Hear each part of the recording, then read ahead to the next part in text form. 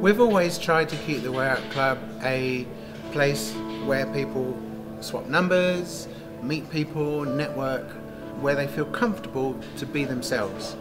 Some people have called the Way Out Club a, a safe sanctuary. I think I'd be a bit lost without it, actually.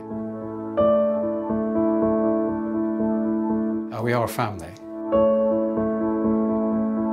Vicky Lee is like a visionary for establishing such a you know unique place specifically for us the trans community it's a warm friendly place where you can have just entertainment or where you can chat to people and you can come and chat to the staff on the door or to Vicky we make people feel welcome I can still remember the first time I ever went there. It was like I have arrived.